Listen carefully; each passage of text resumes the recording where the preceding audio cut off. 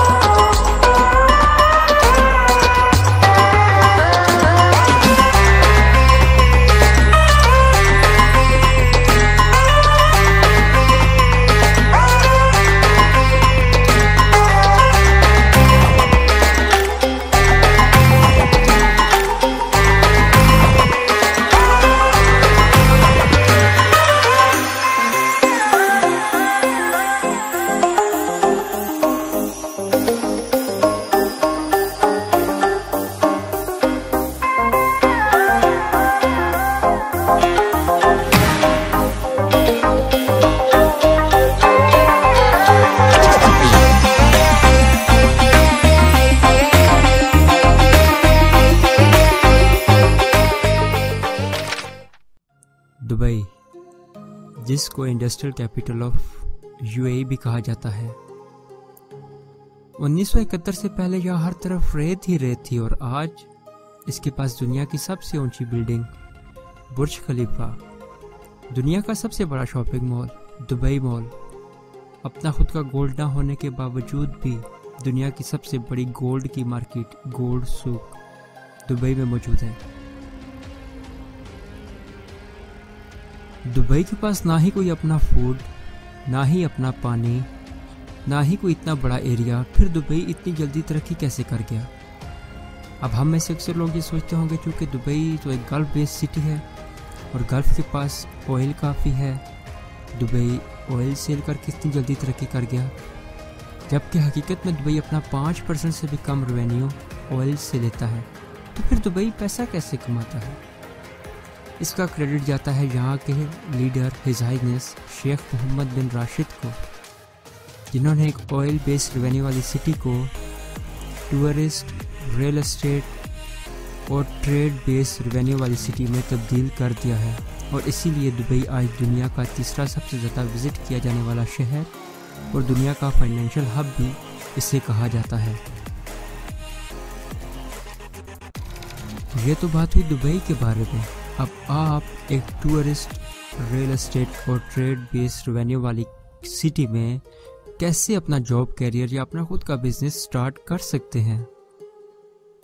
अब टूरिस्ट को दुनिया के डिफरेंट कंट्रीज़ से यहाँ लेकर आने के लिए आपको ऑफ़ कोर्स प्लेन चाहिए। प्लेन्स को खड़ा करने के लिए आपको एयरपोर्ट्स चाहिए।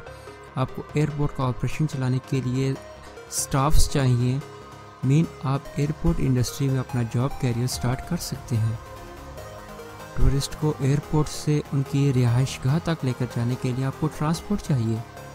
ट्रांसपोर्ट गवर्नमेंट की भी हो सकती है प्राइवेट भी हो सकती है वीआईपी भी हो सकती है नॉर्मल भी हो सकती है। मीन आप ट्रांसपोर्ट इंडस्ट्री में अपना खुद का बिज़नेस या अपना जॉब कैरियर स्टार्ट कर सकते हैं। फिर टूरिस्ट को रहने के लिए रूम्स चाहिए होटल्स चाहिए मीन रियल एस्टेट और होटल इंडस्ट्री आप इसमें अपना खुद का बिज़नेस या अपना जॉब करियर स्टार्ट कर सकते हैं। दोस्तों, ये तो बात हुई दुबई के बारे में और यहाँ के जॉब करियर के बारे में। आज तक की वीडियो के लिए इतना ही। इन मिलते हैं नेक्स्ट वीडियो में। तब तक के लिए अल्लाह हाफिज़।